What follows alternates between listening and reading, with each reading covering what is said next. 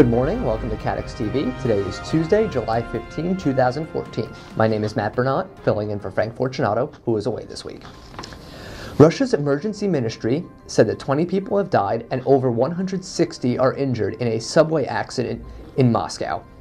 The exact death toll has been changing as the situation clarifies and emergency services continue the recovery operation to free bodies from the crashed carriages. The driver of the train is alive and has been taken to a nearby hospital. The accident is believed to be the most serious in the eight-decade history of the city's metro system, the world's busiest. A spokesman for the emergencies ministry said that the cause of the accident was human error, not terrorism, and that the accident happened when the train braked suddenly after a false alarm. After the May 18 hailstorm in Billings, Montana, State Farm was declining to issue renewed policies to customers because they had filed too many claims. Since 2010, there was a tornado on Father's Day, a severe hailstorm in 2012, and another in 2013, before the May 18th storm this year. Many homeowners don't know how they could have avoided the damage for which they filed claims. Homeowners have met with representatives from the Office of the State Insurance Commissioner to discuss the claim disputes, and some are crying foul because they have been informed that their policies would not be renewed upon expiration. Some had assumed that the policy could not be canceled because of an act of God. Insurance companies have the right to not renew a policy over issues like claims. Non-renewal presents homeowners with multiple problems, mainly because it is difficult to be picked up after having a policy declined. Non-renewals are not issued lightly, but a company has to look at what it can reasonably cover. Several issues are considered, such as how long a customer has been with the company and what kind of insurance they have, as well as how many claims a customer has filed. Hail claims in Billings have been numerous in recent years, and state officials say they've heard as many as 40,000 claims for auto damage related to the May 18th hailstorm that tore through several Montana counties. Claims by homeowners in Billings probably number about 7,000 to 8,000 per agency based on what insurers are saying.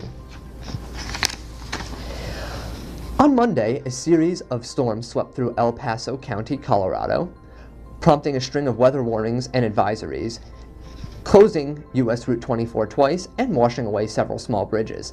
The storm hovered menacingly over the Waldo Canyon burn scar and waterlogged soil threatened to send vegetation, mud, and other debris cascading towards the scar. Soil right now is dry there and unable to absorb the rain. A string of flash flood warnings issued around 1 p.m. local time shut down the highway twice between Cave of the Winds and Cascade for several hours. An unprecedented number of earthquakes are happening in states where hydraulic fracturing is happening. The drilling method involves sending high-pressure blasts of water, sand, and chemicals into deep shale rock formations to free up oil and natural gas. The process also produces millions of gallons of wastewater. Operators then send that wastewater back underground into injection wells.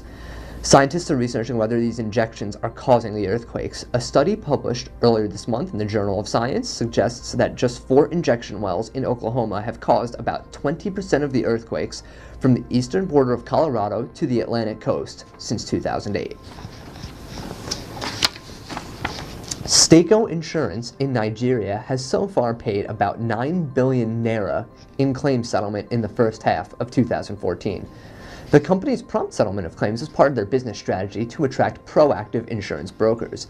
The company wants to continue to strengthen its relationship with insurance brokers to guarantee the growth of its business portfolio. The company's focus on insurance brokers was due to their critical role as stakeholders in the nation's insurance industry. Staco Insurance also said that the changing character of insurance marketing had altered the role of brokers and provided a better channel between brokers, clients, and insurance companies. The role was not just for the brokers to place business with the companies, but to also educate clients about diverse insurance products. Insurance penetration in Nigeria is still low, and brokers have all the tools that it takes to woo the, the Insurance penetration in Nigeria is still low. And insurance brokers have all the tools that it takes to woo the nation's growing middle class to the opportunities inherent in insurance. Increasing levels of risk associated with economic development in emerging economies like Nigeria make it imperative for the Nigerian government to accord insurance its rightful place. Third Point Reinsurance was downgraded by Zacks from a neutral rating to underperform rating in a research note issued. They currently have a $15.10 price target on the stock. Zacks price objectives indicate a potential downside of 4.31% from the stock's previous close. Separately, analysts at Citigroup initiated coverage on shares of Third Point Reinsurance, setting it to a neutral rating. One equities research analyst has rated the stock with a sell rating, and three have issued a hold rating, and one has issued a buy rating to the company's stock. Third Point Reinsurance currently has a consensus rating of hold and an average target price of $16.27. That's the news for today. Thank you for watching, and we will see you tomorrow. If we have any important breaking news, we will come back on and tell you. Have a nice